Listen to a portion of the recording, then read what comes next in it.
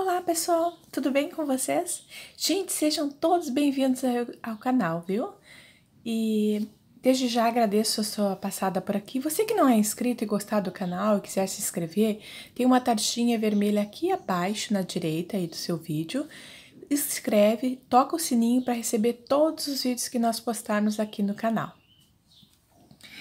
Gente, é, hoje nós vamos aprender a fazer esse lindo modelinho. Olha que coisa mais linda. Eu vou fazer no vídeo esse laranja, mas aqui eu dou opção para vocês também para fazer com pérolas craqueladas.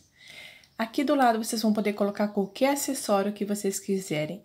Olha que coisa mais linda. Eu vou colocar o nome desse modelo de modelo Gisele, porque a artesã que eu vejo fazer muito esse tipo de modelo é a artesã Gisele Leotti. E eu quero dar meus parabéns para ela, através de uma foto dela um tempo atrás que eu me inspirei nesse vídeo. Tá bom, gente? É, tudo no vídeo, no decorrer do vídeo eu vou falando valores de sugerido para venda, etc. Muitas dicas no meio do vídeo. Fique comigo aí até o final. Gente, aqui estão os materiais que nós vamos usar no vídeo.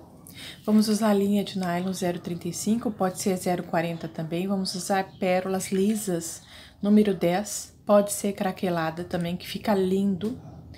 Fio 1 milímetro, 1 mm, fio acetinado, que é um fio de seda. Eu tô usando aqui o Rose Gold, que é dos fornecedores do canal. Vou deixar abaixo aí o telefone para vocês poderem fazer compras.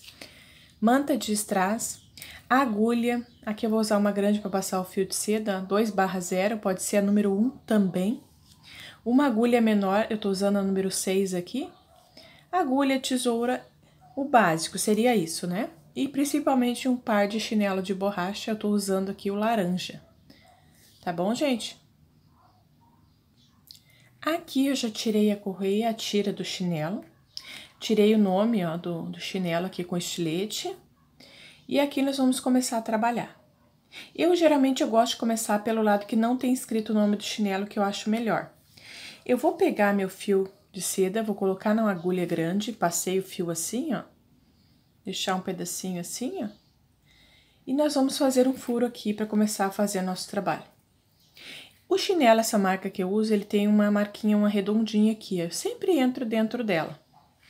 Então, a gente vai ver ali no meio dela é onde nós vamos entrar com a nossa agulha. Eu vou fazer com agulha direto para vocês ver que dá. Mas vocês também podem usar o alicate vazador ou alicate furador, eu não sei como é que vocês chamam aí para fazer esse trabalho. Esse alicate aqui, ó. Aí vocês usam o menor furinho para fazer esse furo aqui. Eu fazendo assim, já vou fazer para mostrar que dá para fazer quem não tem o alicate. A gente vai puxar o nosso fio de nylon assim. Tá assim a minha tira. Coloquei o fio. Vou voltar lá pra baixo com o fio menor. Vou fazer assim, ó, que nem vocês já sabem, a maioria, mas a gente sempre... Tem gente que tá chegando agora e é muito importante a gente dar atenção a todos, né, gente? Quem já souber fazer, pode acelerar um pouquinho o vídeo aí, mas fica comigo no vídeo. Vou puxar ficou bem firmezinho assim. Aí, então, tá assim o fio, gente, ó, a gente vai fazer a volta assim, com a nossa agulha. E vamos pegar aqui embaixo. Voltamos pra cima. Aqui a gente puxa. Ó. Damos uma puxadinha, não precisa apertar muito, vai ficar assim, ó. Tá bom? E esse fio menor aqui eu posso passar aqui pra cima já, pra deixar ele aqui, ó. Só pega um pedacinho da tira, não precisa pegar muito, ó. Só pra deixar ele aqui na tira do chinelo aqui em cima, ou se vocês quiserem já cortar ali. Cuidado aí quando puxarem pra não... Não se... não ficar agulha em vocês. Aqui eu já corto. Pronto, já posso começar a trabalhar. E eu gosto de queimar essa pontinha aqui pra ela não desfiar. Assim, gente. Vocês viram como é que ficou? Então, agora a gente vai começar a trabalhar. Já deixei a minha agulha. Tô com o meu fio aqui no... E vamos nós. O que, que nós vamos fazer agora? Agora, o chinelo tem umas listrinhas, né? E vai ter alguns que não vai ter também, que vocês vão trabalhar. Então, aqui a gente vai dar umas sete voltinhas mais ou menos. Eu vou pegar aqui de baixo, sempre olho por baixo, que é o acabamento, né? Vou fazer uma vez, duas, bem juntinho, mas não apertado, tá? Três, quatro, cinco. Deixa eu dar uma olhada. Seis. Aí eu dou uma olhadinha nisso, como é que ficou meu outro lá, no lado de fora para me ter uma noção ali, ó, quantas vezes eu fiz para fazer igual. Vocês cuidem aí também, para ficar bem parelhinho os dois, par, os dois pés. Sete voltinhas. Bem parelhinho, sem apertar, olha aqui para cima. E agora eu vou colocar minha mantinha de strass aqui. Começar a trabalhar com ela, eu cortei uma fileirinha de três.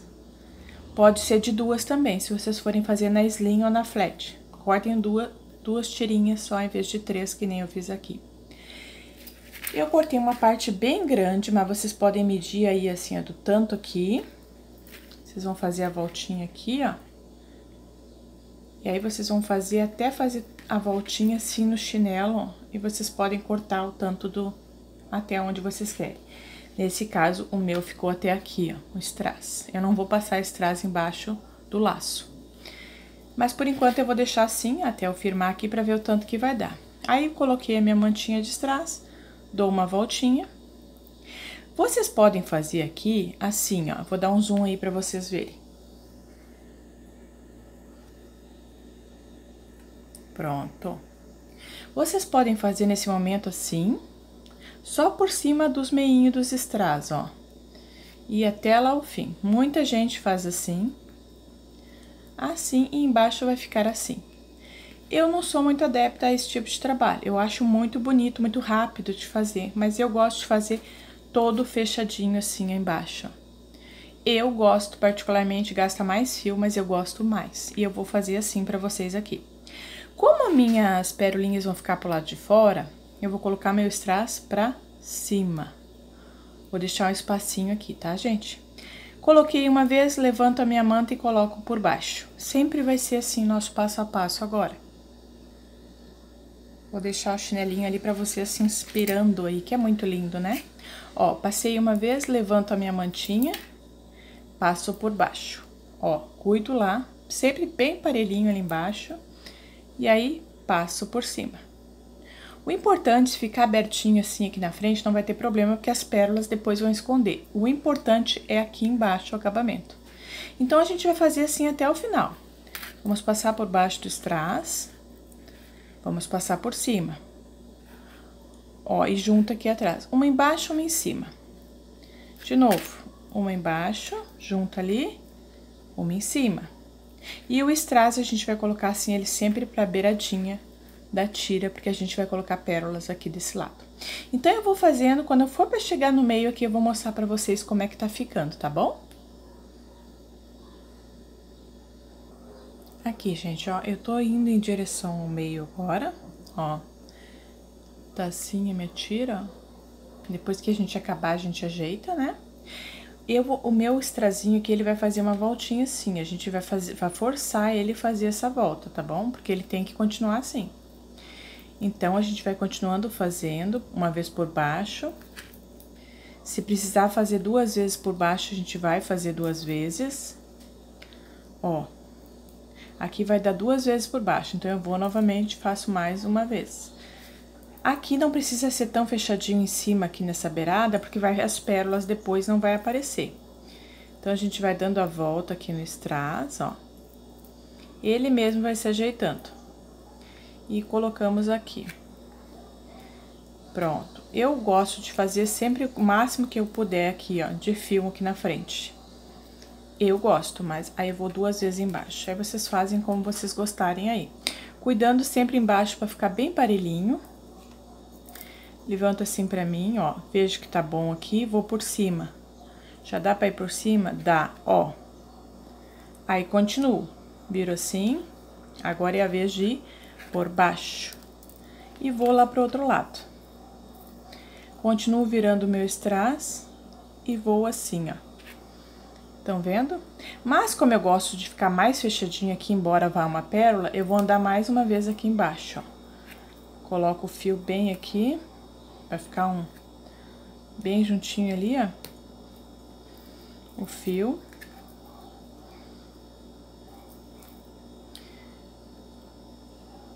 Como esse fio ainda tá frouxo, eu ainda consigo fazer isso, ó. Coloco bem juntinho e vou por cima.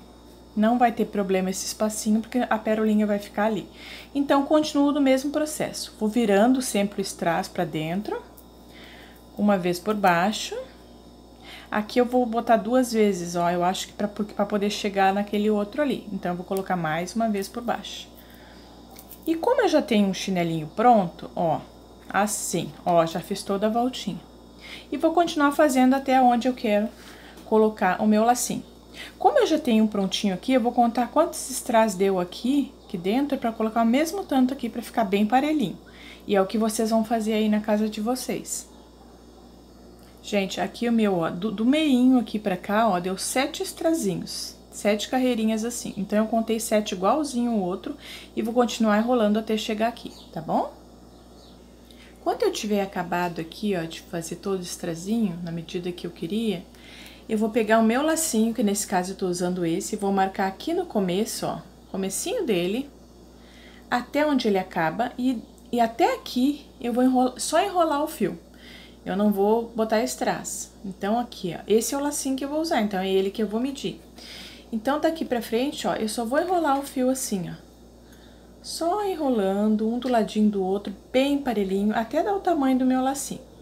Só que tem um detalhe aqui que eu vou mostrar pra vocês. Esse lacinho, ele tem dois, ó, dois piercing aqui embaixo, dois coisinha pra furar, né? A gente vai ter que medir onde vai ficar, ó. A gente vai marcar ali. E aí, eu vejo onde vai ficar os dois furinhos e eu vou medir com uma caneta, vou marcar, né?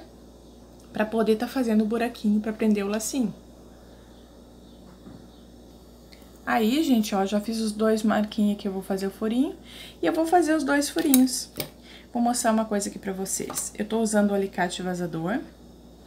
Tem um furinho, esse meu alicate aqui, ele tem um furinho que é bem pequenininho, menor, e depois tem o segundo que é um pouquinho maior. E eu vou usar o segundo. Por que que eu vou usar o segundo? Medindo o tamanho do meu piercing ali, ó. Dá certinho no tamanho dele. Aí eu vou fazer os dois buraquinhos aqui, ó. Faço um. Aí vocês vão dizer aí pra mim, Berê, e a gente que não tem o alicate, Gente, eu fiquei muito tempo sem esse alicate, ele é bem baratinho. E os fornecedores do canal, eles têm ele, tá? Vocês podem estar adquirindo. É, ele é bem baratinho, mas pra quem não, não puder no momento, a gente não consegue no momento comprar, né? Vocês podem fazer um furinho com preguinho quente, esquentar um preguinho, segurar com um alicate no fogo. E fazer com preguinho quente, porque é só os furinhos, né? Aí você pega o preguinho, segura com alicate quente e faz o furinho.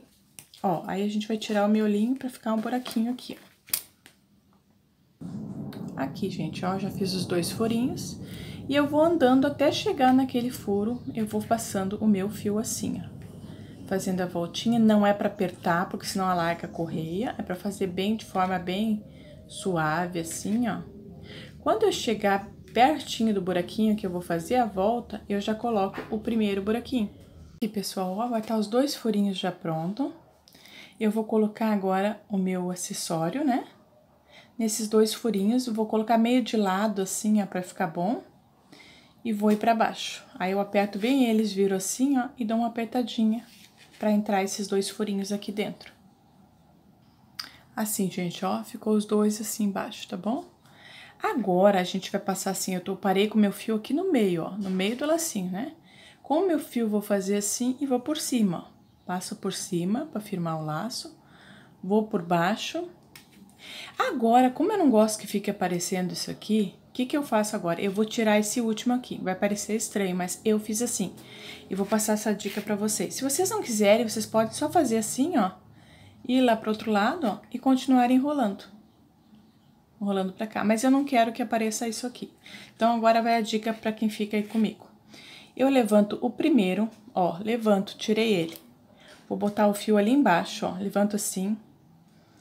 Fica um pouquinho difícil? Fica. Cuide para não desfiar o fio nesse momento.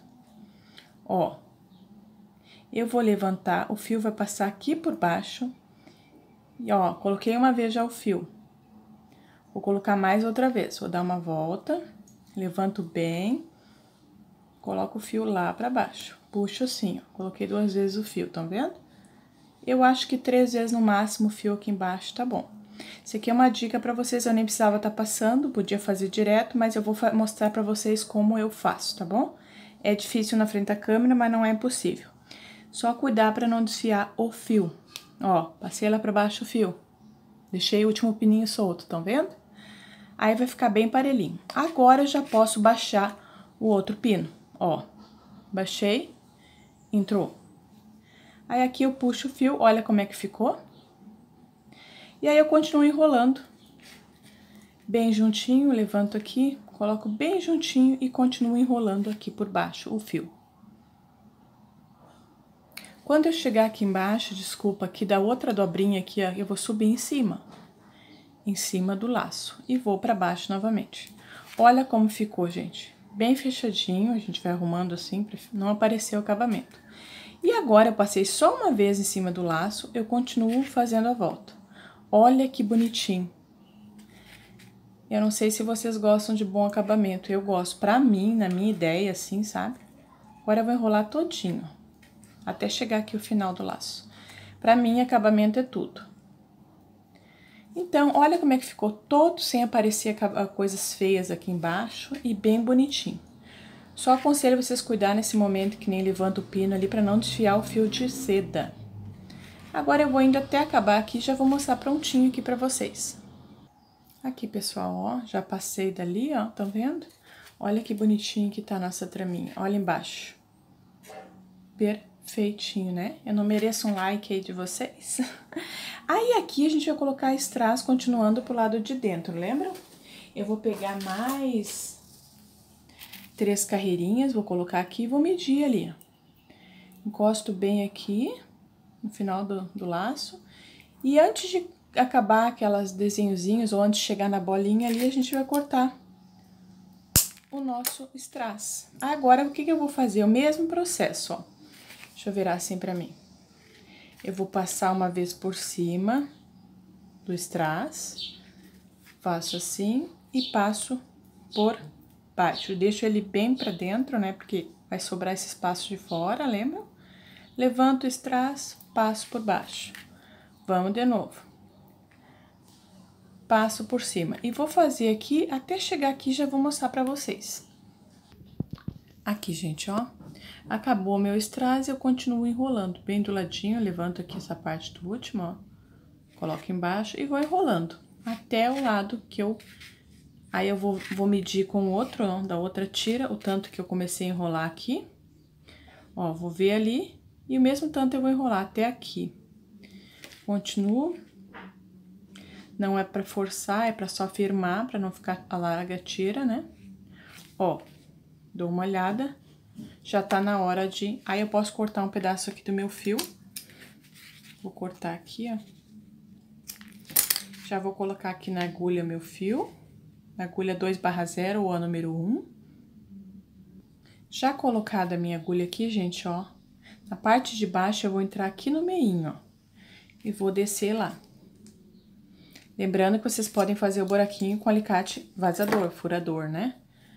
Fiz assim, Vou voltar aqui por cima, cuido para não pegar no fio, para não desfiar.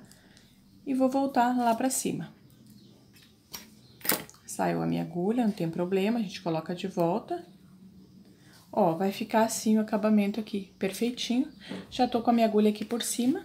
Deixa eu botar a agulha aqui rapidinho. Aqui, gente, ó, tô com minha agulha pra cima. Agora o nosso trabalho vai ser levar essa agulha, pegar uma parte aqui da borracha, ó, da tira, fazer uma forcinha e levar ela pra cima, assim. A gente vai ter que pegar literalmente um pedaço da tira e fazer isso aqui, ó. Passar aqui pra cima. Cuidado pra não pegar o fio ali, porque senão vai desfiar. E cuidar pra não passar aqui pro outro lado, tá? E aí, a gente vai puxar essa agulha. Ela tá assim, ó, vou tentar puxar. Tem que cuidar aqui, porque eu tô com a câmera na frente, né? Ó, puxei.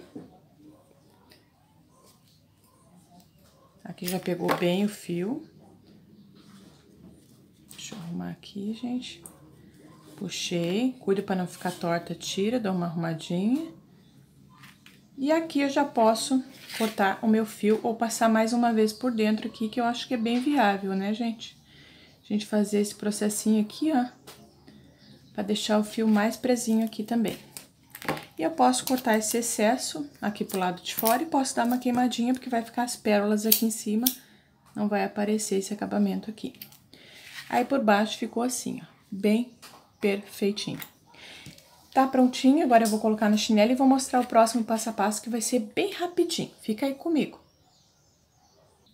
Já coloquei minha tira aqui no chinelo, vocês podem notar que a tira não tá larga, não tem nada de efeito aqui, ó, é isso mesmo. Tá perfeitinho, porque a gente não apertou para enrolar. Agora, a gente vai colocar as pérolas do lado. Nesse momento, vocês podem escolher, eu tô usando a número 10, pode ser a número 8, pode ser a número 12. E aí, vocês podem escolher se querem craqueladas, que é lindo também, ou a lisa, a que é erizada, vocês podem escolher, tá? E o acessório do lado a mesma coisa, tem várias opções. Tem esse lacinho que é uma gracinha, dá pra colocar tem corujinhas, vocês podem colocar o que vocês quiserem aí, inclusive fazer o acessório de vocês. Vocês podem fazer um lacinho de pérola, colocar aqui do lado. Uh, aqui eu fiz um grande, mas vocês podem fazer um pequeno, olha aqui mostrando pra vocês, ó. Esse lacinho vocês podem colocar aqui do ladinho, então fica a critério de vocês aí, tá bom, gente? Vamos colocar as pérolas juntos? Aqui, pessoal, ó, coloquei na minha agulha, na minha agulha número 6, 2 metros de nylon, vou dar os famosos nozinhos aqui na ponta, ó. Vou dar uns quatro nozinhos no mesmo lugar. E vou queimar esse excesso aqui pra ficar bem grossinho e não passar pelo chinelo, tá? Eu sempre faço isso nos meus trabalhos, ó. Queimo, deixo assim. E agora, eu vou começar a trabalhar assim, ó, aqui pelo meio. Vou colocar minha agulha aqui no meio e vou lá pra baixo. Ó, gente, tá assim, o nozinho ficou ali, a melinha tá lá embaixo. Eu vou subir aqui pra cima e eu vou colocar a primeira pérola. Vou ver onde ela acaba, onde ela, onde ela começa. Vou marcar ela aqui e já vou entrar com a minha agulha aqui nessa beiradinha. Vou mostrar pra vocês. Eu vou fazer assim, ó, de lá. E eu já vou entrar com a minha agulha aqui pro começo aqui, ó, porque eu preciso já pegar ela aqui na ponta, ó. Tento fazer da melhor maneira possível. Às vezes a gente pega o fio e fica um pouquinho difícil, mas tem cuidado aí, tá? Ó, já coloquei a minha agulha ali, minha linha. E coloco a primeira pérola. Eu vou dar algumas dicas agora, gente, pra vocês que estão ficando comigo aí, que vai ser muito valiosas. Aí se você pensa em parar o vídeo, não pare, continue, que vai ser muito importante. Depois vocês vão dizer pra mim assim, Perê, você tinha razão. Foi muito bom ficar com você até o final. Ó, coloquei a primeira pérola, tá bom? Estou usando a pérola número 10, essa aqui é cor salmão ou laranja para alguns. Eu vou subir aqui de novo com a minha agulha. Eu posso subir pertinho da pérola, no meio, aqui tanto faz, tá? Porque a pérola já tá centralizada. Eu vou fazer esse ladinho aqui primeiro, depois eu vou mostrar por quê. Pelo lado de cá, eu já vou entrar aqui na minha pérola 10, ó, e já vou colocar as próximas pérolas. Eu trabalho colocando uma por uma, porque eu acho que fica bem parelhinho o trabalho, fica perfeito. Olha como fica reto, gente, as pérolas. Mas dá pra fazer duas por duas também. Eu não gosto, mas eu vou mostrar duas por duas e uma por uma, tá? Colocando a pérola, eu digo. Coloquei uma. Vejo aqui, ó. Deixa eu botar minha pérola pra cá. Onde acaba ela, seguro. Vejo que ela acabou ali, vou descer com o fio. Agora eu vou mostrar uma dica para vocês. Quando a gente for descer com a agulha, a gente não vai pegar o fio. Como que a gente vai fazer? Ó, eu marquei ali, né? Eu vou tentar entrar no meio dos fios, ó. Eu vou explicar aqui pra vocês por quê. Deixa eu tentar mostrar bem rapidinho. Aqui, ó. É bem rapidinho, depois vocês pegam o prático, vocês não precisam nem olhar, ó. Coloquei agulha, entro pelo meio dos fios. Não, não, tento não pegar o fio, tá, gente? Pode ser que pegue, mas entro pelo meio do fio, puxo a minha pérola, ficou junto. Agora eu vou fazer assim, em vez de eu fazer pra cá com a minha linha e vai ficar um ponto de nylon aqui embaixo que eu não quero, eu vou entrar na mesma direção que tá a linha, vou fazer assim, ó, a linha tá ali, eu vou entrar aqui, ó, no meio dos fios, tá? E vou pegar meu alicate e vou lá pra cima no meio dessas duas pérolas, ó. No meio das duas pérolas. Vou fazer assim, vou puxar minha linha. O processo agora vai ser todo assim. Puxei, entro novamente dentro dessa última pérola que a gente colocou. Puxo. Puxo assim, ó. Pronto, vou colocar mais uma. Mas o que que acontece aqui? Eu po poderia colocar duas, né? Mas eu vou colocar mais uma aqui, ó. Coloquei uma, já vou colocar a outra. eu gosto de trabalhar uma por uma. Peguei uma.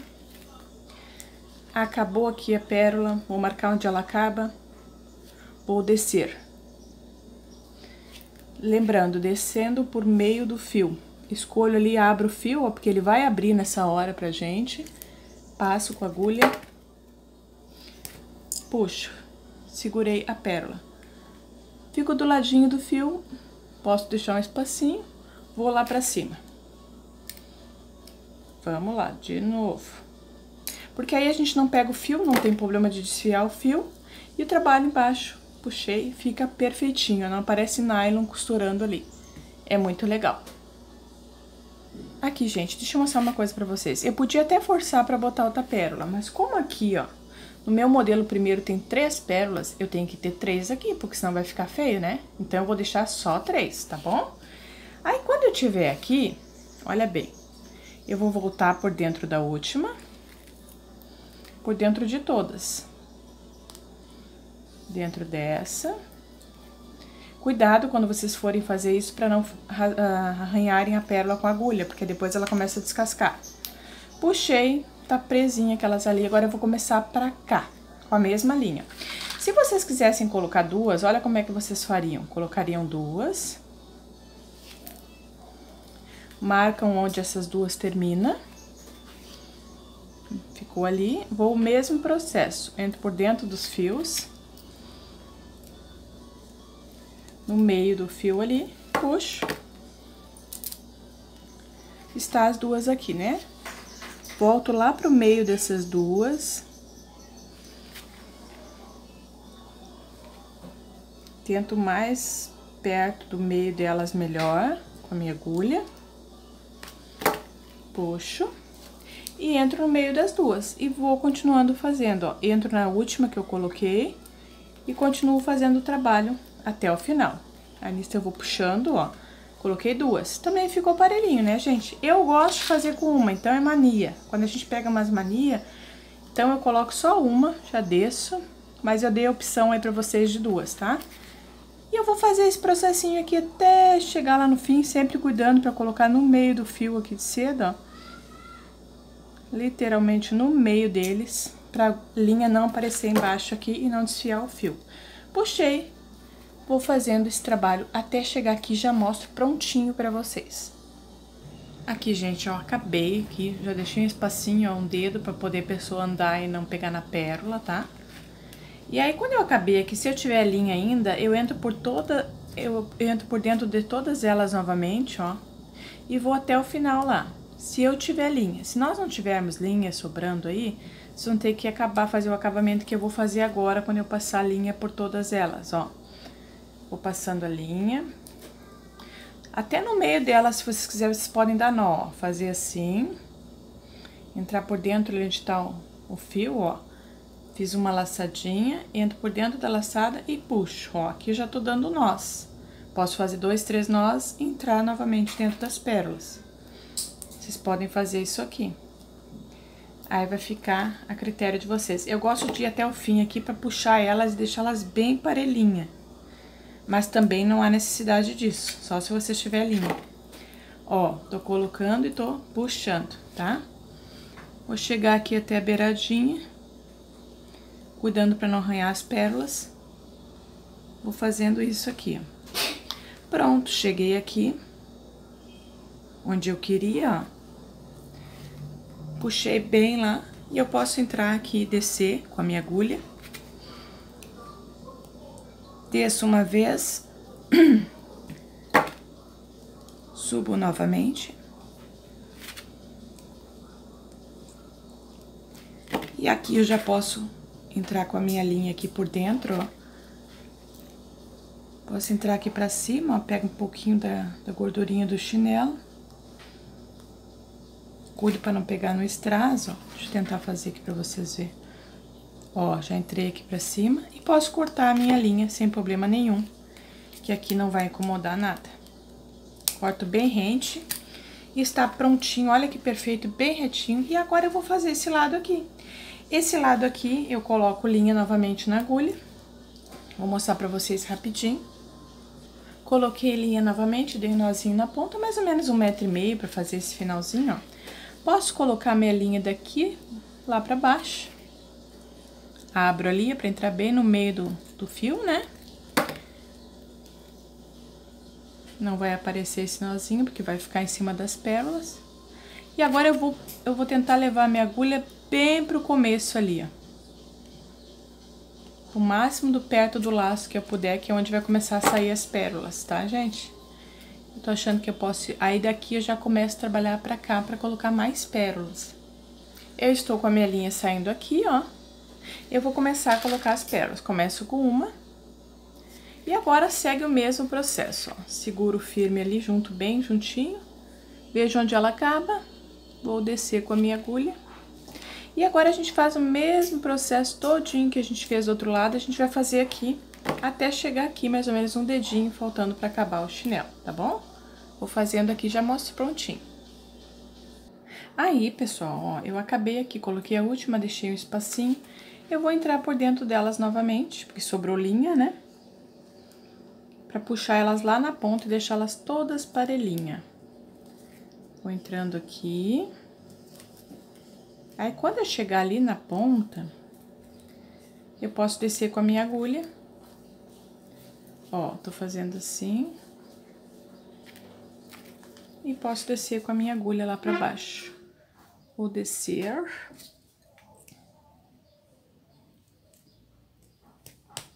Ó, eu peguei o fio, aí entra um pouquinho apertado, por isso que é bom entrar no meio do fio.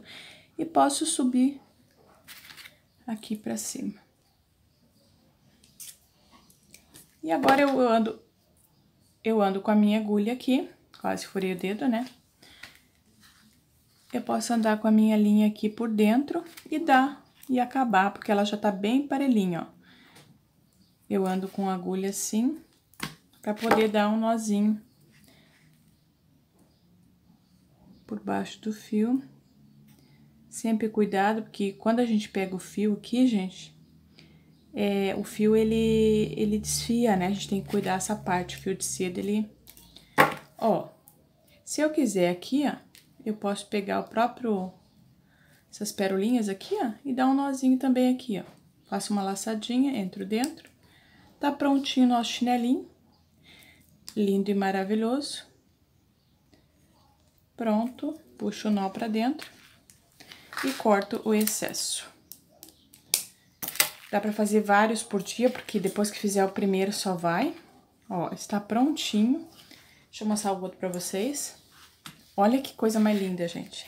Se você gostou e das dicas que eu dei no decorrer do vídeo aí também, deixe seu like, que é muito importante, gente, para mais pessoas conhecer essas aulas que vocês estão conhecendo. São aulas muito boas, modelos lindos, maravilhosos. E eu vou dar uma sugestão de preço para você que ficou comigo até agora, hein? É, eu gostaria que você comentasse aí no vídeo para nós qual chinelo você acha mais bonito aqui do canal? Vamos ver quem está assistindo o vídeo até o final e deixar dito aí o nome do chinelo. Vamos ver, logo aí tem novidades para vocês, tá? Esse modelinho nós vendemos aqui na minha região em torno de R$ reais pelos acessórios usados, o gasto, né? Mas vocês vão ter que ver o que vocês gastam aí na região de vocês para colocar o preço de vocês. Ele vale até mais, né, gente? Se você colocar uma lonita na sola, um detalhe, vai ficar muito bonito.